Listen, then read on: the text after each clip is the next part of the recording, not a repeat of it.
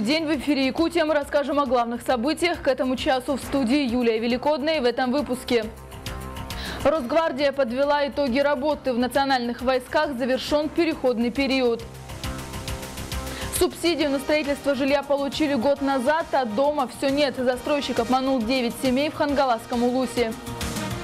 Долгожданное вручение ключей. Обманутые дольщики своими силами завершили строительство многоквартирного дома. Путин подписал закон о ежемесячных выплатах при рождении первенства. Напомню, согласно документу, пособие будет рассчитываться с учетом дохода семьи. Соответствующий закон опубликован на официальном портале правовой информации. Получать пособие родители будут ежемесячно и до достижения ребенком полутора лет. Согласно закону, сумма будет рассчитываться с учетом дохода семьи. Он не должен превышать полуторакратную величину прожиточного минимума трудоспособного населения региона. Величина такового в нашей республике составляет по первой зоне для детей 20 тысяч рублей, а по второй зоне 16 с половиной. В Якутии выплаты на первого ребенка смогут получить около 4 тысяч человек. Грант главы правительства республики в области СМИ получила редактор НВК «Саха» Наталья Сметанина. В Якутске состоялась церемония вручения денежного пособия якутским журналистам и изданиям. Всего конкурсная комиссия рассмотрела 53 заявки. Распределено 5 грантов в размере 1 миллиона рублей и еще 5 в размере 500 тысяч. В следующем году конкурс на соискание грантов главы республики в сфере СМИ проведут в первом полугодии. Сумму в размере 500 тысяч рублей по направлению родной язык и культура получили получила редактор творческого объединения «Геван» компании НВК «Саха» Наталья Сметанина на реализацию телевизионного проекта «Йон Чиде», что в переводе с юкагирского означает «колокольчик». С помощью грантовой поддержки уже в феврале моя коллега планирует выпустить телевизионные уроки по изучению языка коренных народов Севера. Мы начинали э, с юкагирских уроков, это с ассоциацией юкагиров республики, с Валентиной Семеновной Якимовой. Нам понравился этот проект, мы его расширили. И ожидаемый результат – это 40 видеоуроков э, по каждому языку коренных малочисленных народов Севера и э, помощь школам, обучающим образовательным организациям. Естественно, это еще в Ютубе будет, эти уроки.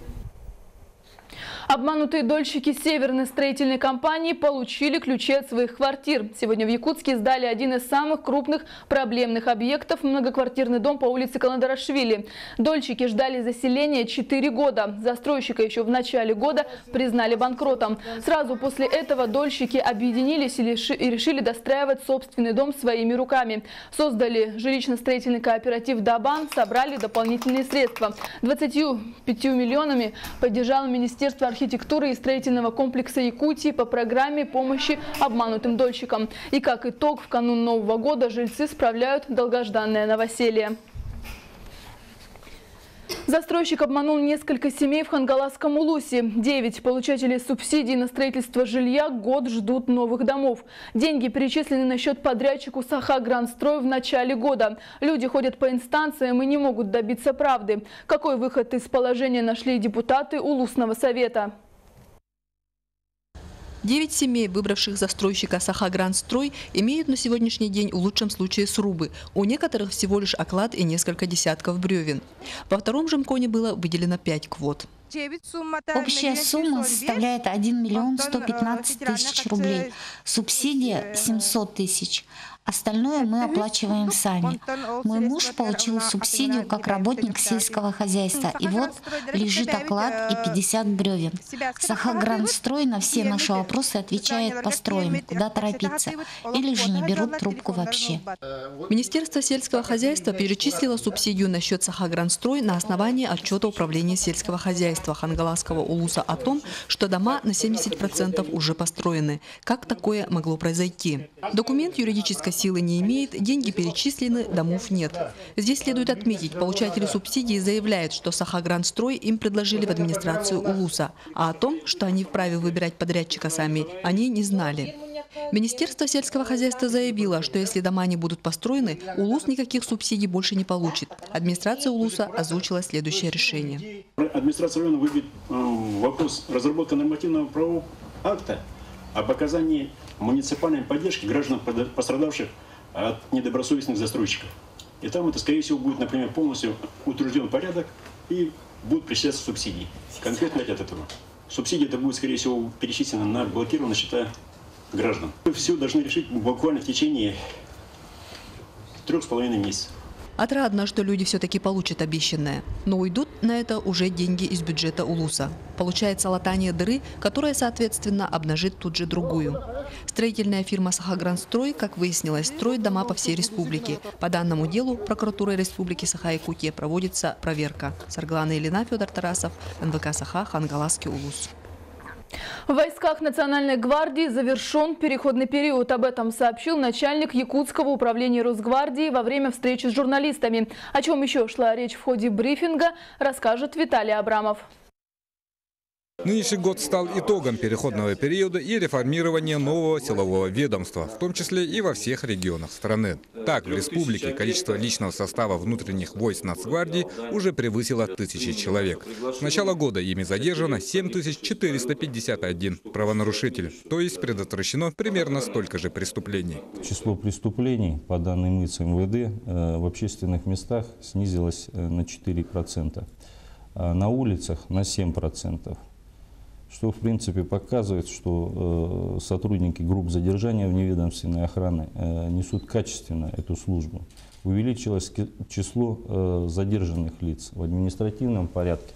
А я хочу напомнить, что Задержанные лица в административном порядке – это потенциальные преступники, которых остановили на ранней стадии совершения там, административного преступления. Кроме того, проведено более 200 спецопераций с участием ОМОН и СОБР. Среди наиболее резонансных – захват в заложники школьницы в Алдане и обезвреживание стрелка по машине скорой помощи с применением огнестрельного оружия. Действовали грамотно, профессионально, соблюдая меры предосторожности. В результате этих мероприятий э, другие граждане, будем так говорить, не, не пострадали.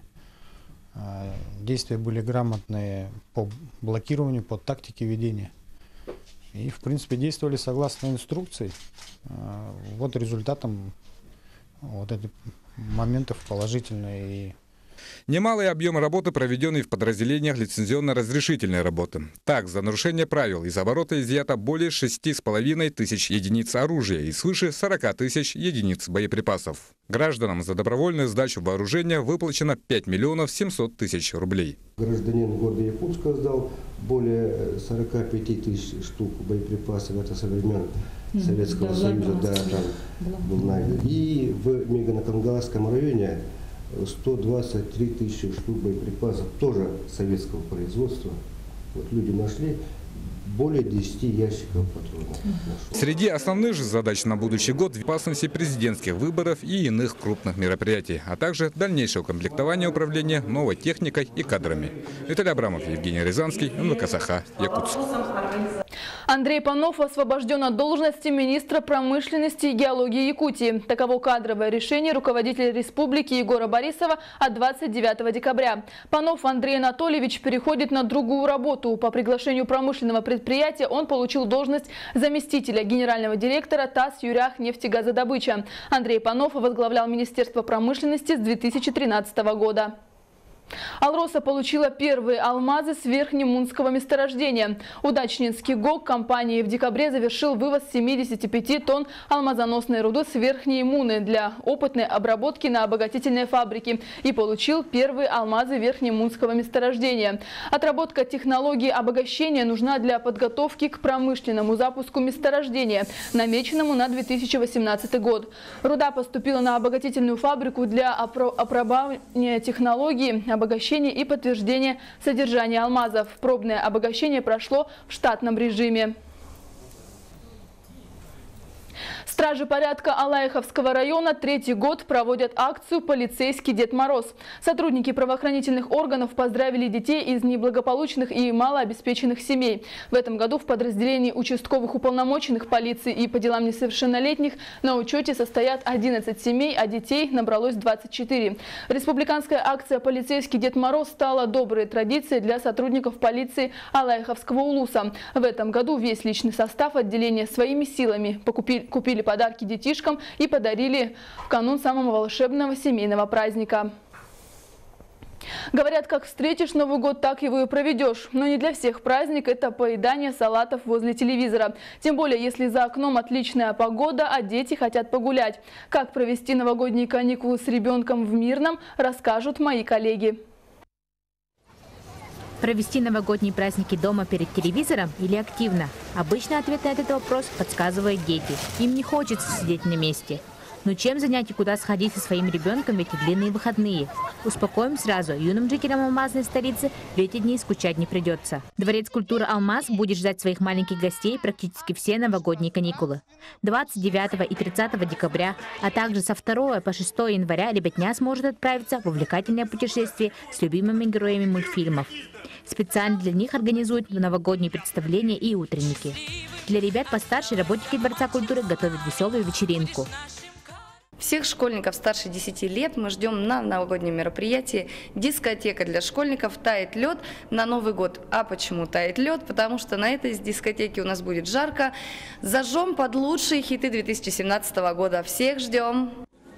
Всех любителей кино начало года порадует большим количеством премьер. Хорошая компания и вкусный попкорн – отличный повод отправиться в кинозал первые дни января ледовая арена Дворца спорта Кимберлит также не будет пустовать. Любители спортивного досуга смогут довольно кататься на коньках. Дворец спорта будет работать э, практически все новогодние праздники. В эти дни э, жители и гости города смогут посетить ледовую арену, массовый прокат новогодние праздники свои двери не закрывает и историко-производственный музей «Алроса». Ежедневно со 2 января любой желающий сможет познакомиться здесь с историей массной промышленности. Подумали тут и о юных посетителях. Специально для детей подготовили игровые стенды. Ну а самым оживленным местом на новогодних каникулах останется центральная площадь города. Тем более, что синоптики в праздничные дни обещают не сильные морозы. Марфа Яковлева, Артур Голиков, Роман Ларин, телеканал «Алмазный край». А вот о чем мы расскажем сегодня в вечернем выпуске новостей в 2044. Многолетняя борьба за собственное жилье и, как итог, новоселье под Новый год. Как обманутые дольщики северной строительной компании своими силами достраивали многоквартирный дом. Установка дальнобойщиками так необходимых для перевозок на север колымбаков и дополнительных фар не противоречит ли закону? Животные радиоактивные изотопы, дождевые черви. Аэропорт Якутска подготовил рейтинг необычных грузов этого года. К этому часу у нас все новости. Еще больше информации на интернет-портале nvk.online.ru. Всего доброго и до встречи в эфире.